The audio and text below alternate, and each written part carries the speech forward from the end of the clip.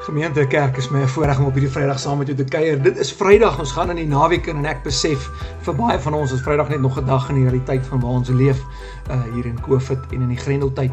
Maar ek glo en ek bid dat Vader jou werklik sal dra en dat dit met jou goed sal gaan met jou en jou gesin en ook jou familie en vriende.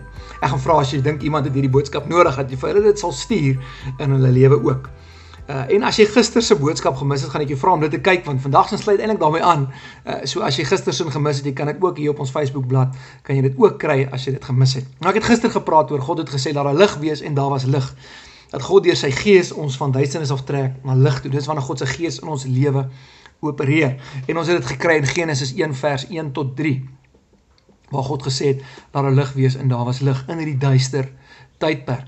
Maar ek dink 'n tweede ding en dis waarom ek vandag met jou wil praat, 'n tweede ding wat God se Gees doen wanneer ek en jy soos ek Sondag gepraat het, wanneer ek en jy verseël is in God met die Heilige Gees gesalf in sy teenwoordigheid en ons het ja gesê vir Christus en ons staan op daai fondasie is een van die tweede goed wat die Heilige Gees doen in my en jou lewe is hy vat my van chaos na orde.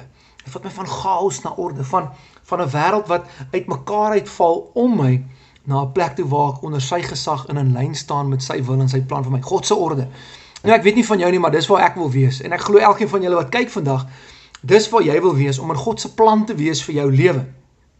Want ek weet my my plan vir my eie lewe uh, in my menslike en as ons almal moet eerlik wees, is maar gevul met trots en selfsug en dinge wat ons maar self wil doen en self wil bereik.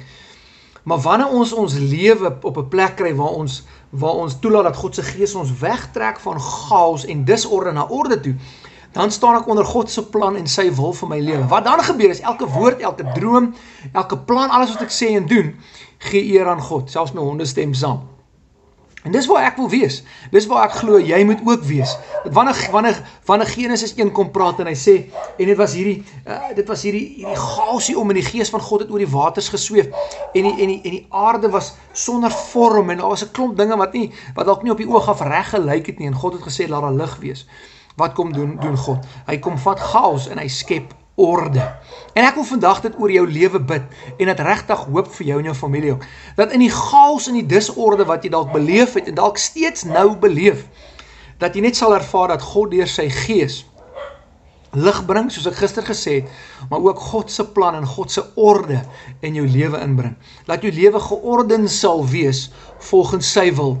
Dat niks in jou lewe sal gebeur wat uit jou eie uit sal kom dat niks in jou lewe sal gebeur wat uit die agendas van ander sal wees, mits God dit nie toelaat nie.